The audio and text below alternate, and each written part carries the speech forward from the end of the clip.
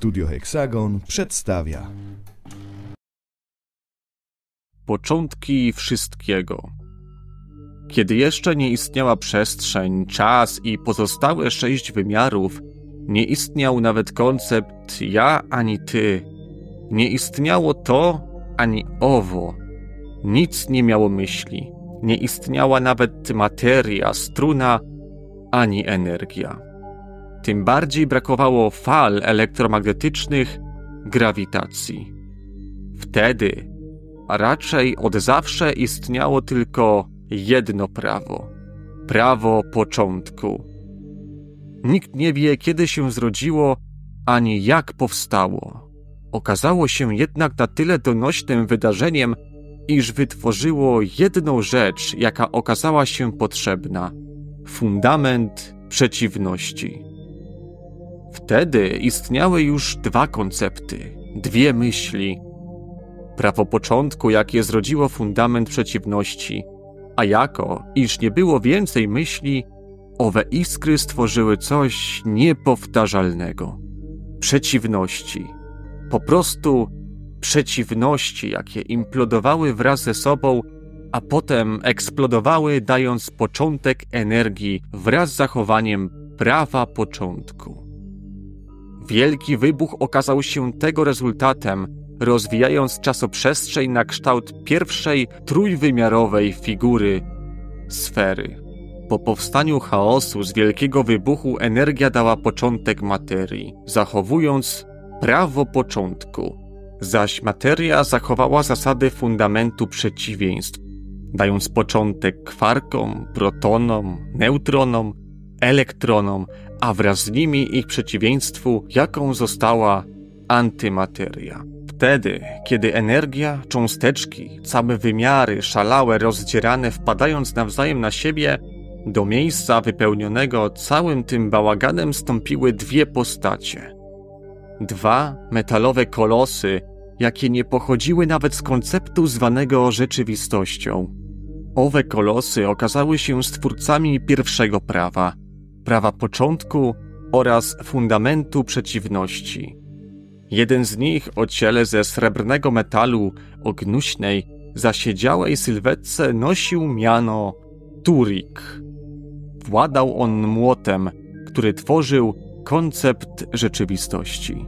Drugi zaś, bardziej wychudły, nieco dłuższy, mienił się Nedgar i władał kosturem zdolnym tkać.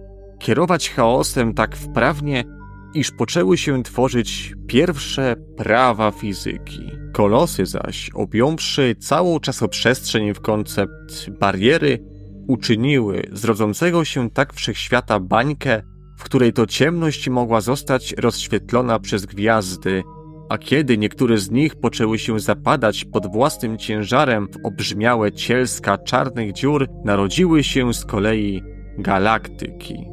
Wszystko, co widzimy, wszystko, co podziwiamy naszymi teleskopami, było dziełem trzyokiego Turika oraz czterookiego Nedgara. Brakowało jednak życia, kogoś, kto podziwiałby zasady rządzące chaosem. Wtedy to Nedgar poprosił równego sobie o stworzenie konceptu śmierci, co stało się zgodne z prawem początku, a ponieważ fundament przeciwieństw musiał zostać zachowany, śmierć dała początek życiu.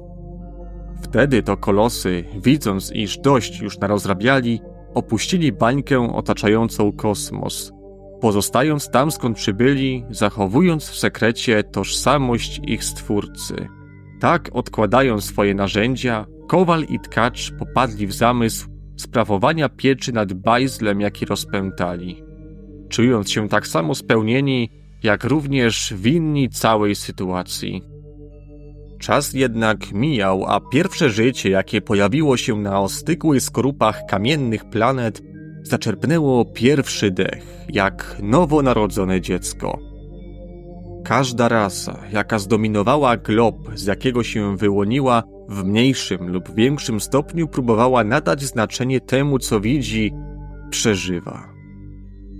Wszystko, co stworzyli Turik i Nedgar, a w szczególności istoty żywe, miały w podświadomości wręcz wypalone wiecznym kosmicznym ogniem świadomość o dwóch siłach, jakich konflikt rozpoczął pierwsze ja, ty. Istnienie tego oraz owego. Wielcy rzemieślnicy wszystkiego odpoczywali, zanurzeni kłótnią, jaką prowadzili przez cały czas tworzenia ziarna wszystkiego. Wszechświata, jaki dzisiaj znamy. Jednak pozostawili własne dzieło, nie ingerując w nie i nie interesując się nim zbytnio. Prowadzili inne kłótnie, nie tak brzemienne w skutkach, jednak z czasem ich charaktery przerodziły się w zrozumienie, zaś potem w uznanie swoich wad, a także zalet.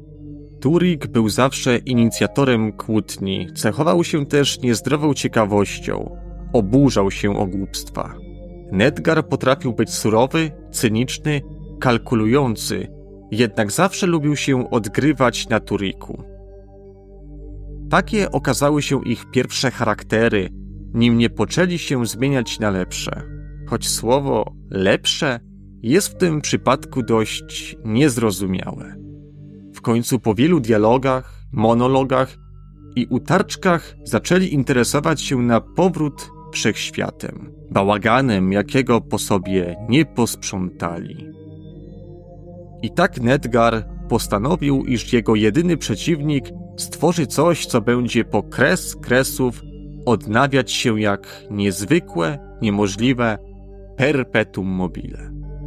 Turik za radami swojego już nie rywala, lecz drucha stworzył koncept wiecznej pętli, zaś Nedgar wszył ją w czas.